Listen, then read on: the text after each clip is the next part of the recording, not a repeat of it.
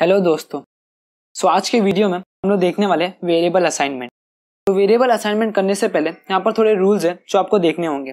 जो सबसे पहला रूल्स है, वो है variable name must begins with a letter ठीक है? आप कभी भी कोई भी वेरिएबल नेम प्रोवाइड करोगे तो वो लेटर से स्टार्ट होना चाहिए। जैसे मैंने यहाँ पर ए इक्वल्स टू टेन किया, ठीक है? अब आपने यहाँ पर वन इक्वल्स टू टेन दिया तो यहाँ पर आपको एरर देगा। तो जो भी आपका नेम होना चाहिए, वो कभी भी लेटर से स्टार्ट होना चाहिए, ठीक है? और एन अंडरस्कोर आप अंडरस्कोर से भी स्टार्ट कर सकते हो, जैसे मैंने यहाँ पर ऐसे दे दिया। तो ये फिर भी वैलिड है। तो ये वैलिड वेरिएबल असाइनमेंट है। हम लोग वेरिएबल असाइनमेंट को आइडेंटिफायर्स करके भी बुलाते हैं। तो अभी से मैं आइडेंटिफायर्स करके बुलाऊँगा। जैसे कि मैंने यहाँ पर ए इक्वल्स टू ट्वेंटी दिया। तो जो हमारा आइडेंटिफायर है, वो है ए और जो हमारा वैल्यू है, वो है ट्वेंटी तो मैं यहाँ पर ए आइडेंटिफायर लिखता हूँ तो मुझे आउटपुट मिलेगा ट्वेंटी का। ठीक है? जो हमारा नेक्स्ट रूल है, वो है other characters can be letters number आप जैसे आपने कोई भी लेटर से स्टार्ट किया, उसके बाद आप कोई भी डिजिट डाल सकते हो। ठीक है? अभी जैसे कि मैंने यहाँ पर ए टू डाल दिया, और मैं इसे तो आप, ये भी वैलिड आइडेंटिफायर्स है, आप ऐसे भी कर सकते हो। जैसे मैंने और एक बार ऐसे, ये भी वैलिड है।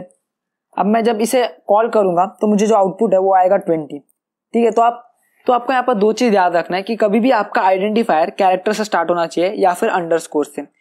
जब आपका कैरेक्टर स्टार्ट हो गया उसके बाद अपना आप डिजिट भी डाल सकते हो। वो आपके ऊपर डिपेंड है। अभी हम लोग नेक्स्ट रूल में जाते हैं। तो यहाँ पर आया variable names are case sensitive अब ये केस सेंसिटिव का मतलब है कि जैसे कि मैंने यहाँ पर लिखा आ, रमेश ठीक है? यहाँ पर मैंने रमेश लिखा। अब मैंने इसको यहाँ पर प्रोवाइड किया टेन अब मैंने यहाँ पर आर को स्मॉल किया और ए को कैपिटल किया। अब मैं इसे टेन प्रोवाइड करता हूँ। तो ये ये ये दोनों अलग आइडेंटिफायर है। मतलब ये अलग है और ये भी अलग है। अभी मैं एक अच्छे से, यहाँ पर मैंने ट्वेंटी कर दिया। अब जब मैं रमेश को यहाँ पर कॉल करूँगा नीचे तो मुझे ट्वेंटी आएगा। तो आपने यहाँ पर देखा, बस यहाँ पर आपका कैपिटल समझो आपने यहाँ पर एच कैपिटल किया है दूसरे वाले इसमें। तो ये तीनों आइडेंटिफायर अलग होंगे। तो जो हमारा आइडेंटिफायर है, वो होता है केस सेंसिटिव होता है। अब जैसे मैंने यहाँ पर ए को कैपिटल किया बी को स्मॉल किया, और मैंने यहाँ पर दिया इसको नंबर थर्टी और नेक्स्ट इसमें मैंने ए को स्मॉल किया बी को भी स्मॉल रखा, और मैंने यहाँ पर इसको किया सेवेंटी अब मैंने कैपिटल ए बी को कॉल किया तो आप यहाँ पर देख सकते हो, यहाँ पर मुझे थर्टी आया। तो जो हमारा आइडेंटिफायर होता है, वो होता है केस सेंसिटिव होता है तो आपको ये चीज़ ध्यान रखना होगा। अभी जो दूसरा रूल है, वो है this are some reserved key word that cannot be use as a variable name अब यहाँ पर पाइथन के थोड़े बिल्ट इन की कीवर्ड्स है, जो आप उससे आप यूज़ नहीं कर सकते हो। जैसे कि यहाँ पर एक इस करके एक बिल्ट इन है। आपने यहाँ पर देखा, यहाँ पर एक कलर चेंज हुआ। मतलब ये पाइथन का बिल्ट इन है।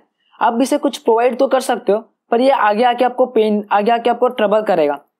तो आपको इसे बिल्कुल भी, आपने देखा यहाँ पर एरर आया है। तो आप इसे जो भी पाइथन के कीवर्ड है, आप उसको एज ए आइडेंटिफायर यूज़ नहीं कर सकते हो। अभी बहुत से जो भी बहुत से लोग दूसरे दूसरे दूसरे एनवायरमेंट यूज़ कर रहे हैं पाइथन के तो वहाँ पर डिफिकल्टी होता है कि हम, हमें कैसे मालूम पड़ेगा कि कौन से पाइथन के कीवर्ड्स है बिल्ट इन कीवर्ड्स है।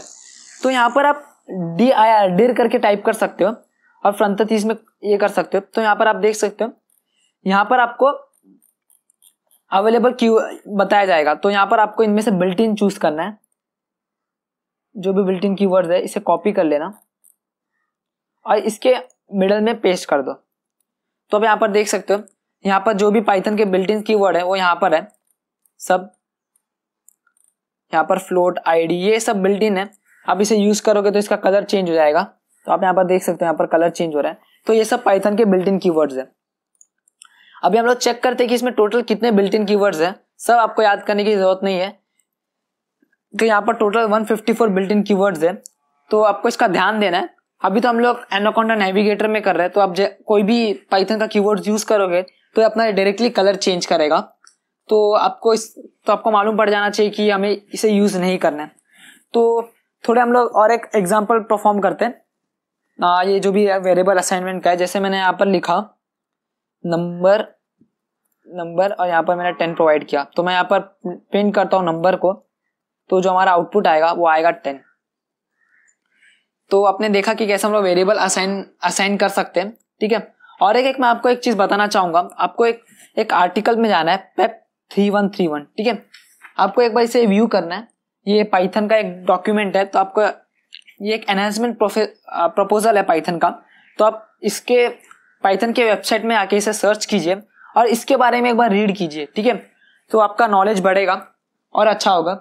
अभी जो हमारा नेक्स्ट इसमें हम लोग जाने वाले हैं नेक्स्ट इस, इस में हम लोग बात करने वाले बिन और जो भी है बाइनरी टू हेक्साडेसिमल हम लोग इन सब चीज़ों के बारे में बात करने वाले क्योंकि मैं आपको ऐसे नहीं कराऊँगा कि आपको पहले बेसिक बताऊँगा, फिर आगे वाले इसमें जाके पूरा लेंथ में बताऊँगा। नहीं, अभी हम लोग जैसे लाइन में जा रहे हैं, वैसे जाएँगे। अभी हम लोग नंबर्स नहीं है, बस आपको वेरिएबल असाइनमेंट बताना था, क्योंकि हम लोग अभी नेक्स्ट वाले इसमें हमें ज़रूरत पड़ेगी। तो यहाँ पर नंबर्स का थोड़ा बड़ा है, वो हम लोग पूरा कंप्लीट करेंगे, उसके बाद लाइन वाइज जाते आएँगे स्ट्रिंग्स में जाएँगे ऐसे ऐसे करके हम लोग जाएँगे, ठीक है? तो आज के वीडियो के लिए बस इतना ही। Thank you